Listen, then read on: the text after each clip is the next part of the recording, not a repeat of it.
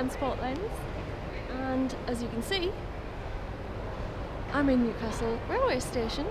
Uh, not as busy as what it would normally be on a Saturday because there are some uh, works going on so there's some replacement services and stuff. And I'm here to do a bit of train spotting today.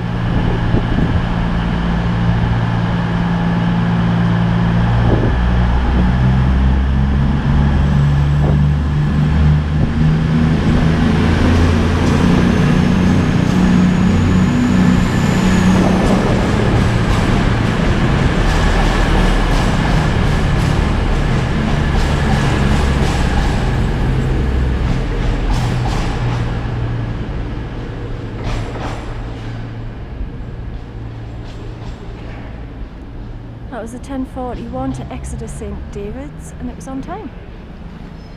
Hey everyone, um, well I'm down this end of the station, everything's coming out this way and today there's nothing going out that way because they are replacing some of the track and um, fingers are getting a little bit cold but overall I'm really enjoying it. Met a few up with a few other people and you know got to have a little chat which is nice. Um, so now I'm just wondering how much longer I'll be able to stay here before Ian starts making noises about going for lunch because his tummy's rumbling.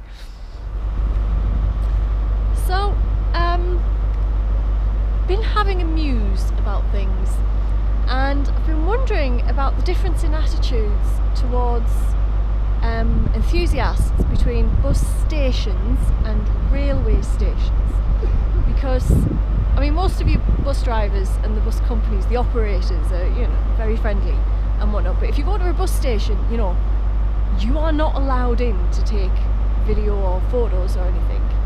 Um, but railway stations, you know, you come, you sign in, they smile at you, they say hi, they tell you what, what is okay and what isn't, and it's fine.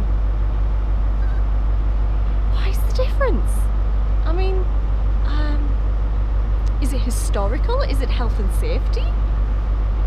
I don't know. But I've been wondering about it.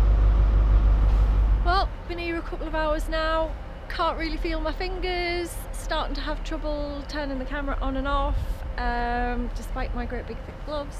So I think I'm just going to get these ones that are in here and then I'm going to call it a day.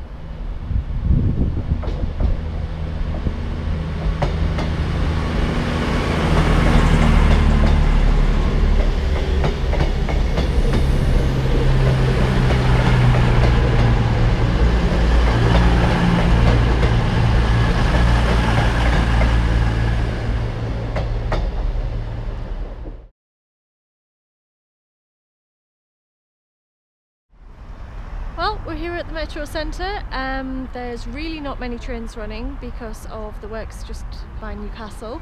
Um, so it's bus replacement services and it's cold, it's dark, it's dingy. Don't know how well the footage is going to come out, but we're going to see if we can get some buses.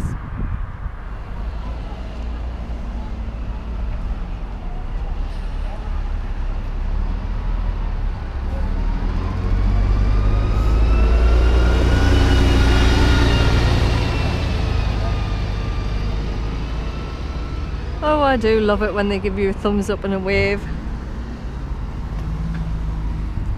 Well, we're heading back to the car now. Look, see, there's Ian. And um, we're calling it. It's it's just it's just too dark. Um, it's not worth it.